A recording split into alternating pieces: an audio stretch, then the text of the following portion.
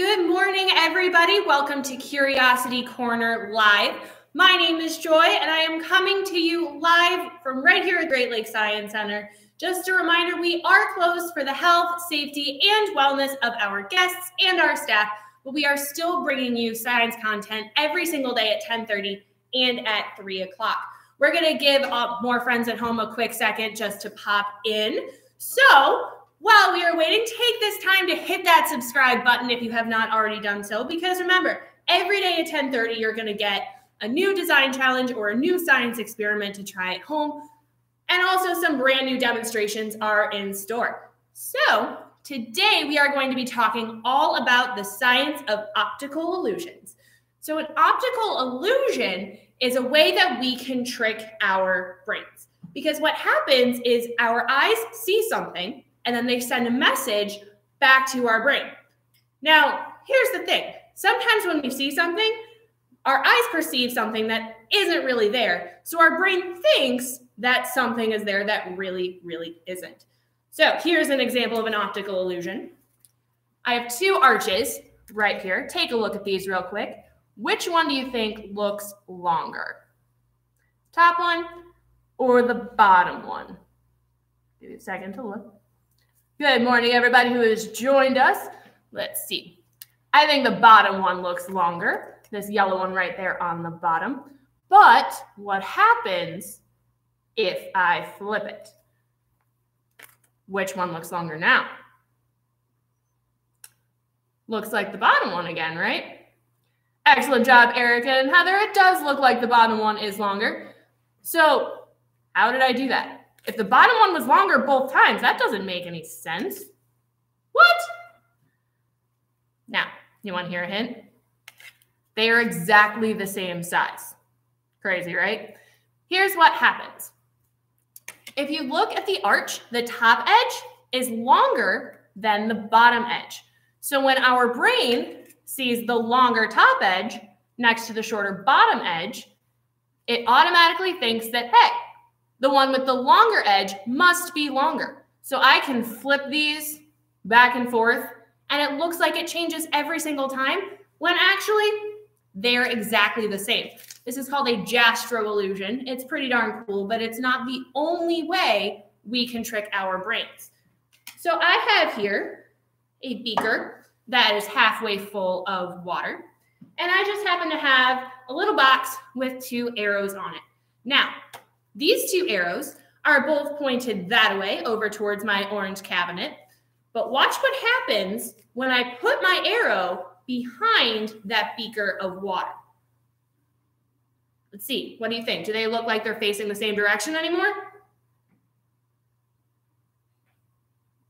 Probably not. They look, one is facing that way and one is facing that way. So I didn't chop up the card and flip it around. It's exactly the same as it was before. Let's try having a full beaker of water. And we are going to see if our arrows change direction. So take a close look at my beaker. Here we go. Oh, they flipped.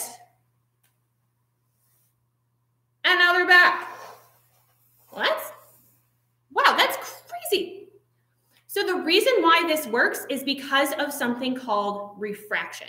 Now, it's the same thing that happens if you've ever had a clear glass of water and you put a straw in it, it looks kind of distorted. And I'll put that right there. There we go. Now, I didn't break that straw in half. It is the same whole straw. Now, when light passes through water, it bends, which is called refraction. And because the light bends, it looks like my straw broke or like my arrows changed directions. So I have one more illusion for you that has to do with refraction. So I have here a beaker. Now, take a close look. How many glass beads do you see in this beaker? Might be a little hard to see. Might need to look. There we go. So I can only see one.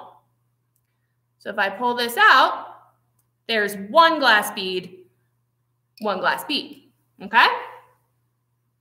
Now, take a look at this beaker. How many glass beads do you see in here? Let's see. Karen says one. Let's take a look. There's actually two. Pretty crazy, huh? So the reason why this works is because of the refractive index. Now, in the beaker with one glass bead, I have water. And the refractive index is how fast light can travel through something. So the light travels through the water at a different speed than it travels through the glass bead.